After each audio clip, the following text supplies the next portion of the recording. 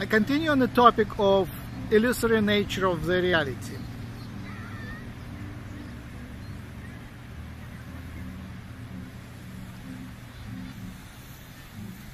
A few clues come from quantum mechanics. Quantum means the smallest possible particle. Initially the smallest possible particle was an atom.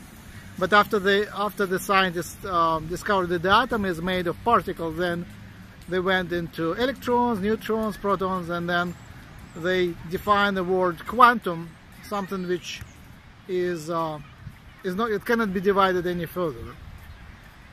So the quantum of light is a photon, a quantum of a quantum of sound is a phonon,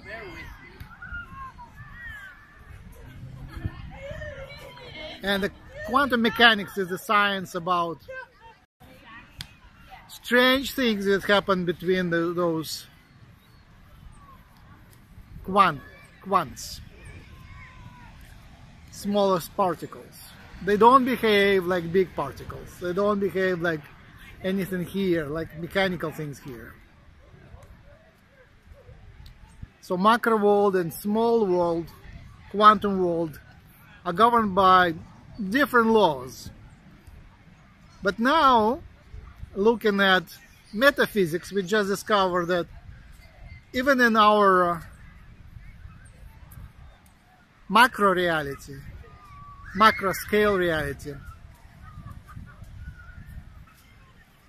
there are deviations, miracles, which are pretty well illustrated by the laws of quantum mechanics. So there are a few principles which illustrate the strange nature of the quantum mechanics. The first is the uncertainty principle. And it involves consciousness, as I mentioned. So the principle is that the things are uncertain until a conscious being is looking at them. A conscious being is observing them. So the observer is necessary for for, for the things to get settled.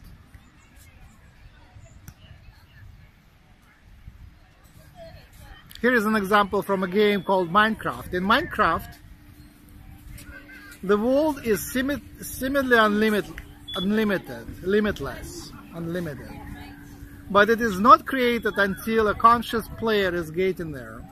So as you walk on earth, you can see how the earth is created in front of you. So it's not created until you get there. It's empty, there is nothing there. And as you walk or fly, you can see how the world is created in front of you. And it is a pretty much the principle of uncertainty principle of um, quantum mechanics. Things uncertain, not created, not fixed until you look at them. And when many people look at the same things, they look at them, they see different things. And that is, um, an example of that is the Mandela effect. We are here coming together with different stories and we remember the past differently. We can't play here together in one game, in one movie, in, in one theater, but we come, each one of us comes with a different story. We remember the past differently.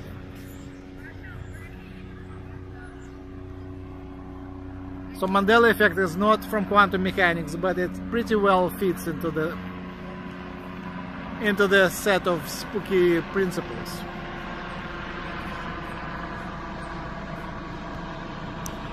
Another, another quantum, quantum mechanics principle is, uh, is quantum entanglement. When two elementary particles, say photons or electrons, come together, they entangle, they, they unite. And after they separate, they keep the memory of each other and they synchronize to each other in some way. But that synchronization is only re revealed when a consciousness is looking at them. So until they are looked at, they are again uncertain. They're in uncertain state. And usually we are talking about a spin, which is another spooky, strange property which cannot be defined. Spin is something like direction of spinning, but it's not. Um, so the two entangled photons can be very far from each other. And when an observer looks at one of these photons, registers it using, say, a camera, and which can determine the direction of the spin, the the sign of the spin of this photon, the spin of the of the other photon which was entangled, then is fixed. So until the consciousness consciousness looks at one, the other one is uncertain. But when the the first one is observed, and the second one uh, gets fixed into a certain state.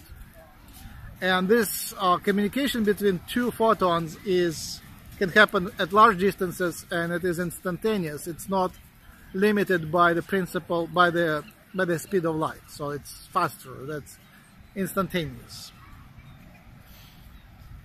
So how it is related to our life?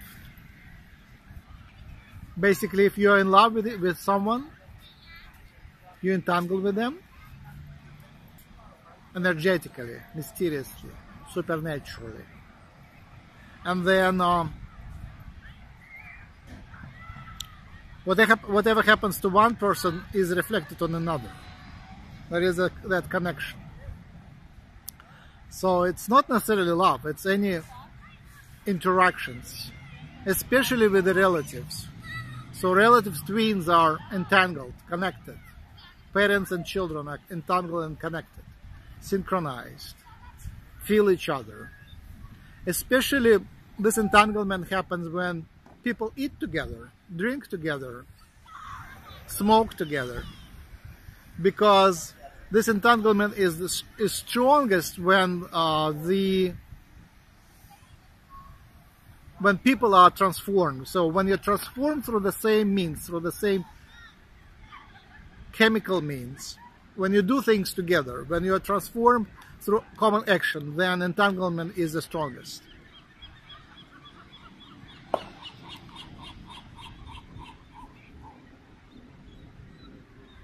Strands of DNA are entangled, not mechanically but energetically. They share common electrons, they entangle, and then when they when a cell divides and produces daughter cells, the cells remain entangled. So twins, brothers, siblings, mother and children, eh, father and children, they all entangled through that common set of electrons which were part of the same cell at once. At once. Once.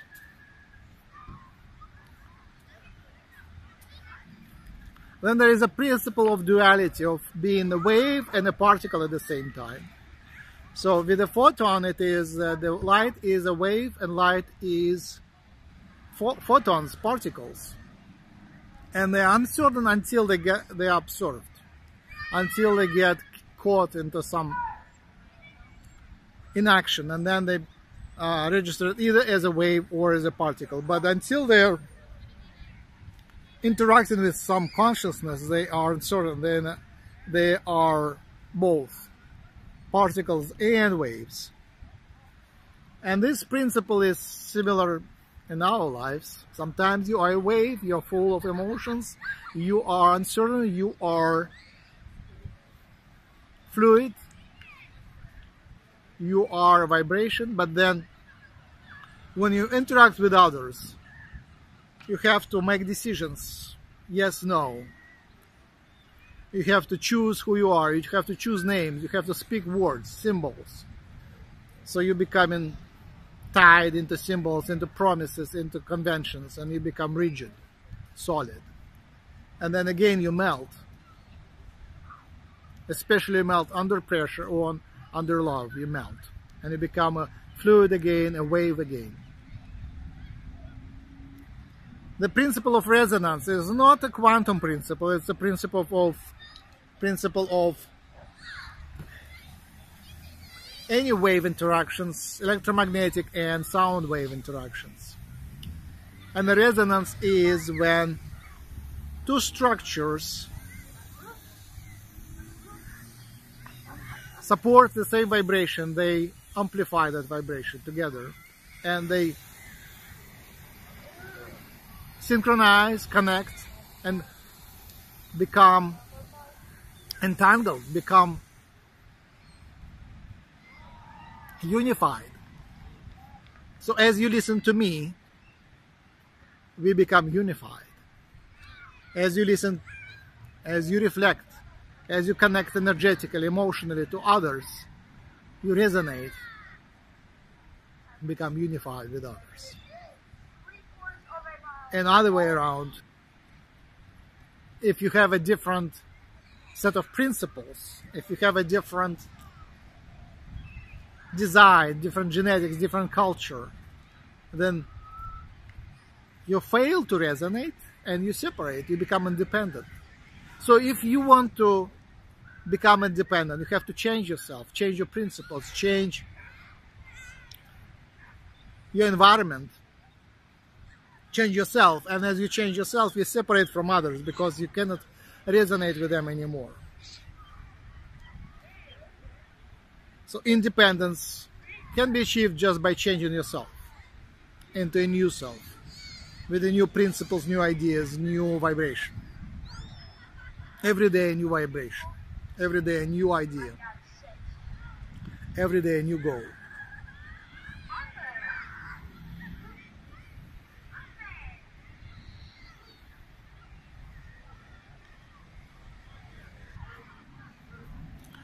And another principle of quantum mechanics is tunneling, tunneling effect.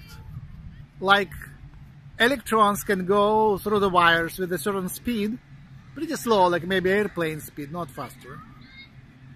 But then they can tunnel from here to elsewhere instantaneously. They disappear here, appear somewhere else. In uh, conscious life, in our macro life, it would correspond to intuition, astral travel bilocation, teleportation, transmutation, shapeshifting.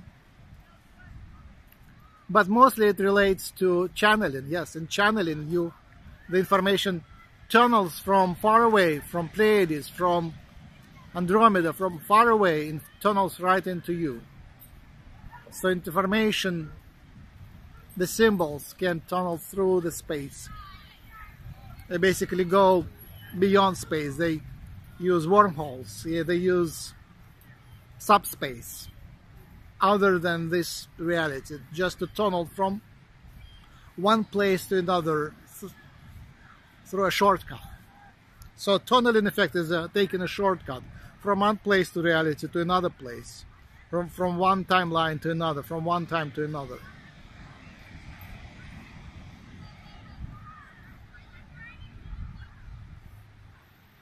With that, I conclude.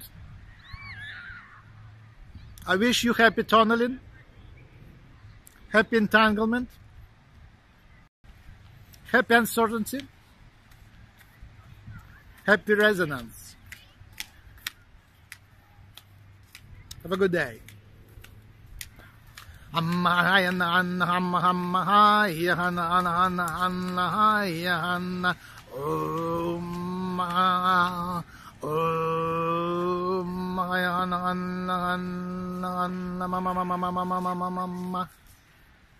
Omar. Omar.